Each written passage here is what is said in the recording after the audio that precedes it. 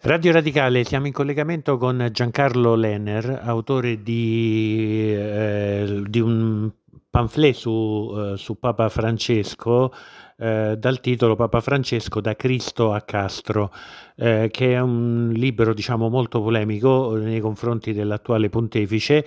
Noi eh, ci siamo rivolti a Giancarlo Lenner per commentare un po' l'uscita di Papa Francesco sul, sulla guerra russa-ucraina. Ehm, il Papa, poi subito dopo smentito dalla sala stampa del Vaticano, eh, ha detto che l'Ucraina deve alzare bandiera bianca e deve negoziare eh, la pace. Allora, questa cosa ha, eh, insomma, ha, ha aperto un fronte di polemica mh, mm, sconfinato nei confronti del, della Santa Sede, della diplomazia del, eh, del, del, Vaticano. Figuriamoci, per esempio, pensiamo soltanto che cosa avrebbe potuto provocare un'uscita di Pio XII durante la battaglia di Inghilterra, di, rivolgendosi al Regno Unito e dicendo eh, la Gran Bretagna deve alzare bandiera bianca nei confronti di Adolf Hitler. Ah, tanto questo è solo un esempio. Allora, allora, eh, Giancarlo Lenner, che, che, impressione hai? Beh, intanto eh, c'è un fatto proprio sul lessico, perché il Papa parla di coraggio di alzare bandiera bianca.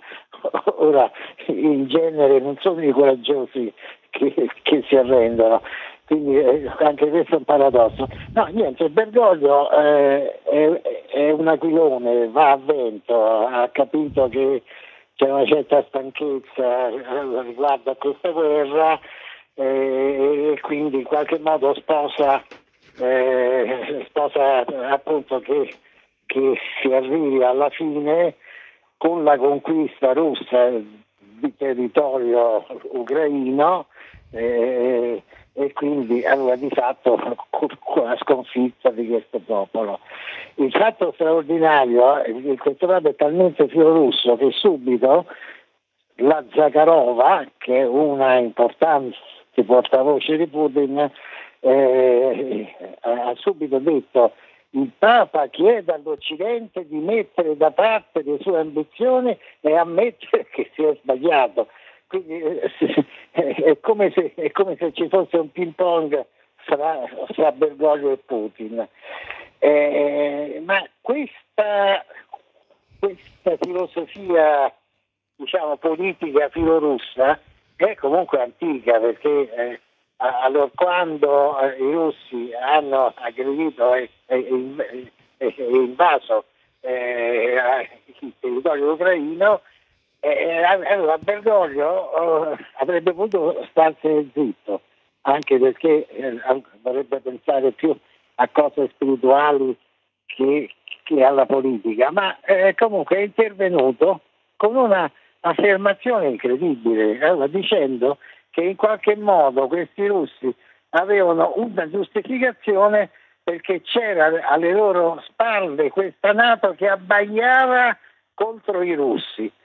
Ora, io ho riportato naturalmente anche all'interno del mio saggio questa cosa perché è assolutamente abnorme, eh, talmente abnorme che anche i, i PC eh, anni 50 che fecero una battaglia fortissima sulla Nato contro la Nato eccetera eccetera mai aveva usato un termine talmente volgare tipo abbaiare sui russi no? quindi eh, insisto, eh, è, è, assolutamente, eh, siamo, siamo, davanti a un personaggio che eh, spesso straparla e soprattutto non parla quasi mai come pontefice.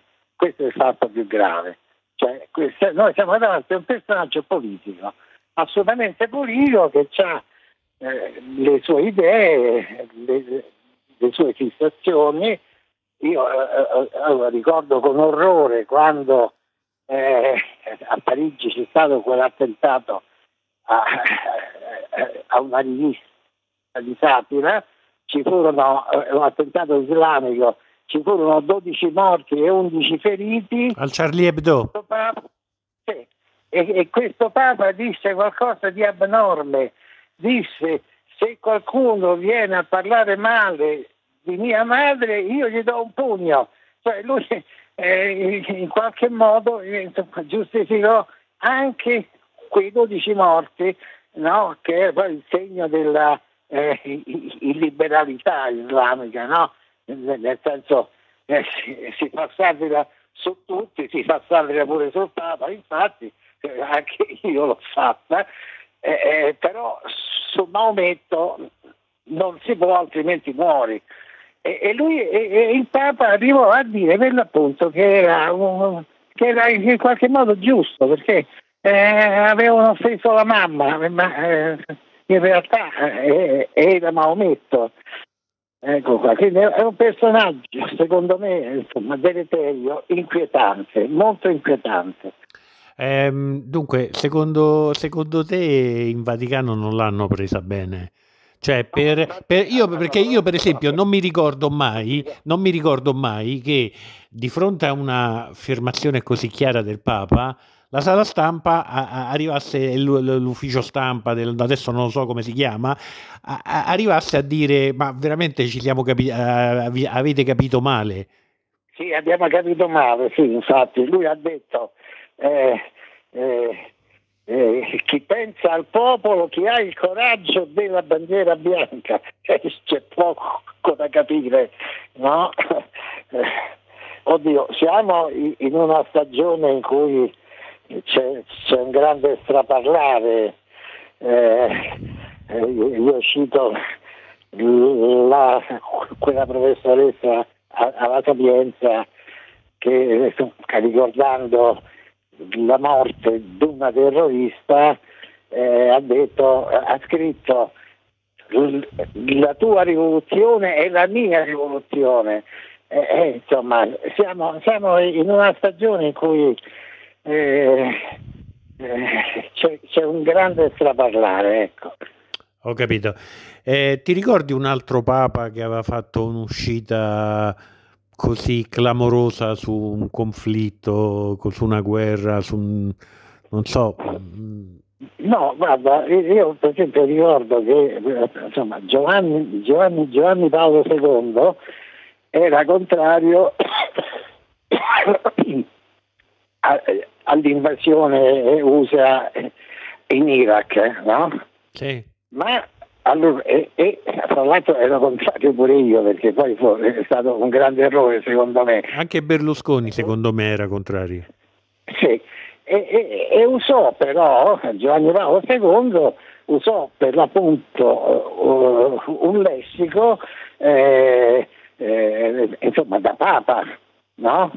parlando di spiritualità, eh, di povera gente che insomma moriva, eh, di eh, azioni crudeli, eh, sbagliate, inutili, ma eh, a memoria mia per la prima volta c'è un Papa che dice a un popolo aggredito arrenditi.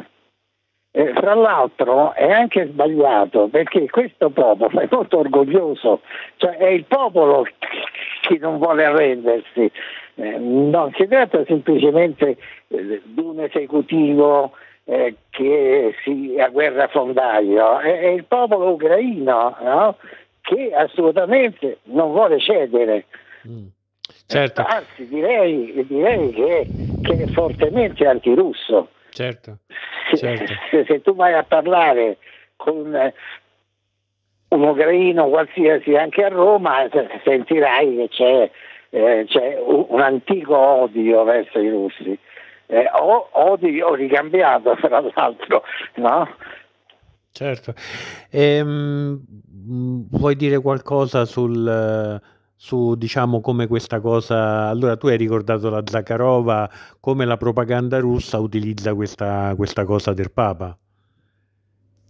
Eh, perché insomma adesso stanno prendendo gli italiani eh, hanno preso questo, diciamo, eh, questo artista che si chiama Yorit, che ha detto che poi Putin non è non è così cattivo, è arrivato il Papa che dice agli ucraini eh, alzate bandiera, bandiera bianca, insomma eh, qualche colpo questa propaganda russa lo sta raggiungendo.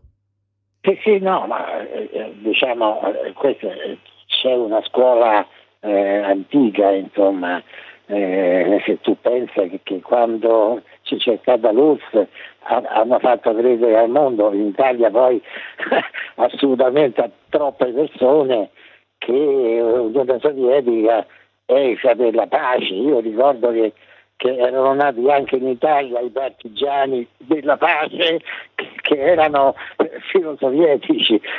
Noi abbiamo avuto, abbiamo avuto in Italia un, un pacifismo a senso unico, eh, cioè dire se l'Unione Sovietica puntava i missili su, sull'Italia era una cosa normale, eh, se andavamo noi a mettere i missili eh, USA in, in, Sicilia, allora abbiamo avuto corteo, no? scusa, ricorderai? Eh? Certo, certo. Ecco, ecco, perché in Italia abbiamo avuto, beh, perché attenzione, c'è un'arte della propaganda eh, che viene dall'Unione Sovietica che è straordinaria, che è organizzatissima. Eh, però il punto è questo, io posso capire un giovane artista, un, un cantante che per mettere eh, insomma, da parte qualche soldino eh, va a Mosca, fa lode a Putin, eh, sono, sono, sono, cose umane, sono debolezze umane, no? sono convenienze umane, ma il Papa, questo è il punto. Certo. Senti, Togliatti una cosa una cattiveria ecco, ma... eh, mi pare un ministro ucraino alluse a una cattiveria io fra l'altro non, non, so se sia vero o falso insomma riporto questa affermazione che fece un ministro ucraino e disse questo atteggiamento che ha Bergoglio di eh, favore verso la Russia forse si spiega con i finanziamenti eh, russi allo IOR. Non so se questa cosa la ricordi. Ah. Uscì, eh, no, no, no, non me la ricordavo, me la stai dicendo tu, poi andrò a vedere. Sta sul libro, sta sul mio libro. Mm. Senti, Io credo che dietro ci sia non i soldi eh, russi allo IOR, ma ci sia un odio anti-occidentale. Questo Papa è contro noi occidentali. Eh, posso, l'ultima cosa, neanche Togliatti era arrivato a simili livelli. Ma già mai Togliatti, scherzi, abbagliamento, cioè, andare a dire che, che questo nato è un cane, un cane, un cane rabbioso che abbaglia eh, su, sulla Russia, sulla Sovietica, no, eh, ma, ma, anche il lessico, eh, anche il lessico, eh, insomma, Togliatti aveva un lessico più raffinato, diciamo, no? più culto, no? e qui invece siamo a un lessico eh, duro, pesante, eh, fra l'altro incongruo, perché insisto, dire il coraggio di alzare bandiera bianca è un non senso, perché chi ha coraggio combatte non certo. alza bandiera bianca. Certo. C'è, c'è, anche questa incongruità eh, semantica proprio. No? Certo. Va bene, senti, io ti ringrazio molto della tua disponibilità, come sempre. Grazie a Giancarlo Lener, eh, autore di un uh, bel libro su, su, su, su, Papa Francesco dal titolo Papa Francesco da Cristo a Castro, che vi invitiamo a leggere, col quale abbiamo... Eh? Bergoglio. Bergoglio. Bergoglio eh, da Cristo a Castro. A Castro. Certo, scusami. Ehm, ti ringrazio. Ecco, eh, con l'Ener abbiamo commentato appunto questo, questo passaggio dell'intervento di Papa Francesco sull'Ucraina che deve alzare bandiera bianca. Grazie. A te, grazie a te, grazie a te.